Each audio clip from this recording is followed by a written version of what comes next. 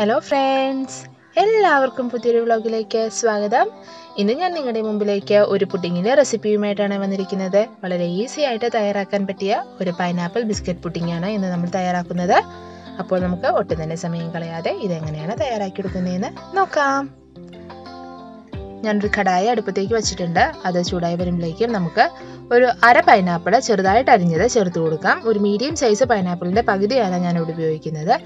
അതിനുശേഷം അതിലേക്ക് നമുക്ക് ഒരു രണ്ട് ടേബിൾ സ്പൂൺ പഞ്ചസാര കൂടി ആഡ് ചെയ്ത് കൊടുക്കാം. ഈ പൈനാപ്പിൾ നല്ല മധുരമുള്ളതാണ്. അതുകൊണ്ടിട്ടാണ് ഞാൻ രണ്ട് ടേബിൾ സ്പൂൺ ആഡ് ചെയ്തത്. നിങ്ങളുടെ പൈനാപ്പിളിന് മധുരം കുറവാണെങ്കിൽ കുറച്ചും കൂടി കൂടുതൽ പഞ്ചസാര ഉപയോഗിക്കാവുന്നതാണ്. ഇനിയിപ്പോൾ ഇതും കൂടി ചേർത്ത് നന്നായിട്ടൊന്ന് മിക്സ് ചെയ്തതിന് ശേഷം അതൊന്ന് വേകാനായിട്ട് നമുക്ക് വയ്ക്കാം. ആ സമയം കൊണ്ട് നമുക്ക് വേറൊരു പാത്രത്തിലേക്ക് ഒരു മുന്നൂറ് എം എൽ പാൽ തിളപ്പിക്കാനായിട്ട് വയ്ക്കാം. ഈ പാല തിളച്ചൊന്ന് വരട്ടെ. ആ സമയത്തേക്ക് നമുക്ക് കസ്റ്റാർഡിന്റെ ഒരു കൂട്ട് തയ്യാറാക്കാനുണ്ട്. അപ്പോൾ അതിനായിട്ട് ഞാൻ കുറച്ച് പാല മാറ്റി വെച്ചിട്ടുണ്ടായിരുന്നു. അപ്പോൾ ആ പാലിലേക്ക് ഞാനൊരു രണ്ട് ടേബിൾ സ്പൂൺ കസ്റ്റാർഡ് പൗഡറാണ് ചേർത്ത് കൊടുക്കുന്നത്. അത് നമുക്ക് നന്നായിട്ടൊന്ന് മിക്സ് ചെയ്തെടുക്കാം.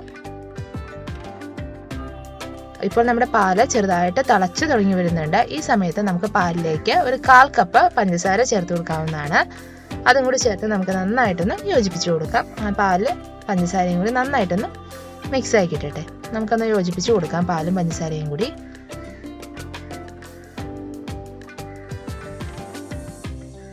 ഇനി നമ്മുടെ പാലൊന്ന് തിളച്ച് വരട്ടെ. അതുവരെ നമുക്ക് വെയിറ്റ് ചെയ്യാം. ഇപ്പോൾ നമ്മുടെ പാൽ തിളച്ച് തുടങ്ങിയിട്ടുണ്ട്. ഇനി ഈ സമയത്ത് നമുക്ക് നേരത്തെ തയ്യാറാക്കി വെച്ചിരിക്കുന്ന ആ കസ്റ്റാർഡിന്റെ കൂട്ടും കൂടി ഈ പാലിലേക്ക് ചേർത്ത് കൊടുക്കാം. എന്നിട്ട് ഇത് മിക്സ് ചെയ്ത് കൊടുക്കാവുന്നതാണ്. ഇതൊന്ന് കുറുകി കിട്ടണം. അതുവരെ നമുക്ക് മിക്സ് ചെയ്ത് കൊടുക്കാം. ഒരുപാട് നേരമൊന്നും വേണ്ട. കുറച്ച് നേരം ഒന്ന് ഇളക്കുമ്പോൾ തന്നെ അത് നന്നായിട്ട് കുറുകി കിട്ടും. ഒരുപാട് അങ്ങ് കട്ടയും ആവണ്ട. എന്നാൽ ഒരുപാട് അങ്ങ് ലൂസും ആവണ്ട. ആ ഒരു രീതിയിൽ നമുക്കിത് മിക്സ് ചെയ്തെടുക്കുക. അപ്പോൾ ഈ സമയത്ത് നമ്മുടെ പൈനാപ്പിൾ അപ്പുറത്തെ സ്റ്റൗവിലിരുന്ന് നന്നായിട്ട് വെന്ത് കിട്ടിയിട്ടുണ്ട് അപ്പോൾ പൈനാപ്പിളും ഈ ടൈം കൊണ്ട് റെഡിയായി കിട്ടിയിട്ടുണ്ട്. ഇനി നമുക്ക് രണ്ടും ഫ്ലെയിം ഓഫ് ചെയ്ത് മാറ്റാവുന്നതാണ്. ഇനി നമുക്ക് നമ്മുടെ പുഡിങ് തയ്യാറാക്കാനായിട്ട് തുടങ്ങാം. അപ്പോൾ അതിനായിട്ട് ഞാനിവിടെ കുറച്ച് ബിസ്ക്കറ്റ് എടുത്തു വെച്ചിട്ടുണ്ട്. ഞാനിവിടെ മാരിലൈറ്റിന്റെ ബിസ്ക്കറ്റാണ് യൂസ് ചെയ്യുന്നത്. നിങ്ങൾക്ക് ഏത് ബിസ്ക്കറ്റ് വേണമെങ്കിലും ഉപയോഗിക്കാവുന്നതാണ്. ഞാനപ്പോൾ പുഡിങ് ഇതുപോലെയുള്ള ഒരു പാത്രത്തിലാണ് തയ്യാറാക്കുന്നത്. അപ്പോൾ നമ്മുടെ കസ്റ്റാർഡിന്റെ കൂട്ടും ഇവിടെ എടുത്തു വച്ചിട്ടുണ്ട്. ഇനി നമുക്ക് ചെയ്യേണ്ടത് നമ്മുടെ ആ ബിസ്ക്കറ്റ് ഓരോന്നായിട്ട് ഈ കസ്റ്റാർഡിന്റെ കൂട്ടിലേക്ക് ഇട്ട് കൊടുക്കുക. ചെറു ചൂടോടുകൂടി തന്നെ ഇത് ചെയ്യാനായിട്ട് ശ്രമിക്കുക. എങ്കിലാണ് അത് ഇപ്പം നല്ല ടേസ്റ്റിൽ നമുക്ക് കിട്ടുകയുള്ളൂ. അപ്പോൾ ഓരോ ബിസ്ക്കറ്റും ഇതുപോലെ ഇങ്ങനെ കസ്റ്റാർഡിന്റെ കൂട്ടിലിട്ട് നന്നായിട്ടൊന്ന് ഡിപ്പ് ചെയ്തതിന് ശേഷം നമുക്ക് ആ ബോളിലേക്ക് വച്ചു കൊടുക്കാവുന്നതാണ്. അങ്ങനെ നമുക്ക് ഓരോ ബിസ്ക്കറ്റും നന്നായിട്ട് കസ്റ്റാർഡിന്റെ കൂട്ടിൽ മിക്സ് മുക്കി നമുക്ക് ആദ്യത്തെ ഒരു ലെയർ ബിസ്ക്കറ്റിന്റെ ലെയർ ചെയ്തെടുക്കാവുന്നതാണ്.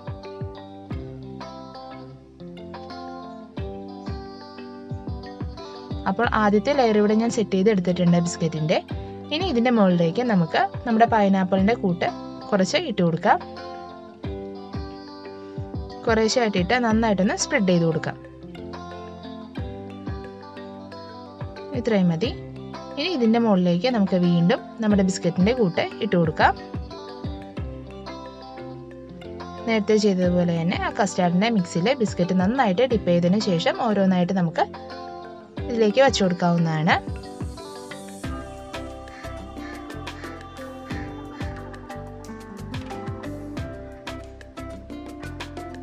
അങ്ങനെ അടുത്ത ലെയർ ബിസ്ക്കറ്റും ഞാനിവിടെ കംപ്ലീറ്റ് ചെയ്തെടുത്തിട്ടുണ്ട്. ഇനി ഇതിന്റെ മുകളിലേക്ക് നമ്മുടെ ബാക്കിയുള്ള ആ കസ്റ്റാർഡിന്റെ കൂട്ട് മൊത്തത്തിൽ ഒഴിച്ചു കൊടുക്കാവുന്നതാണ്. എന്നിട്ട് അതൊന്ന് ലെവൽ ചെയ്ത് കൊടുക്കാം. അപ്പോൾ നമ്മുടെ പുഡിങ് ഏകദേശം റെഡി ആയിട്ടുണ്ട്. ഇനി നമുക്ക് ബാലൻസ് ഉള്ള ആ പൈനാപ്പിളിന്റെ മിക്സും കൂടി വെതറി ഇത് സെറ്റ് ചെയ്തെടുക്കാവുന്നതാണ്. ഇത്രയേ ഉള്ളൂ. എന്തൊരു സിമ്പിളാണല്ലോ ഈ പുഡിങ് തയ്യാറാക്കാനായിട്ട്? ദാ അപ്പോൾ നമ്മുടെ പുഡിങ് ഇവിടെ റെഡി ആയിട്ടുണ്ട്. ഇനി ഇത് നമുക്ക് ഫ്രിഡ്ജിൽ വെച്ച് തണുത്തതിന് ശേഷം ഉപയോഗിക്കാവുന്നതാണ്.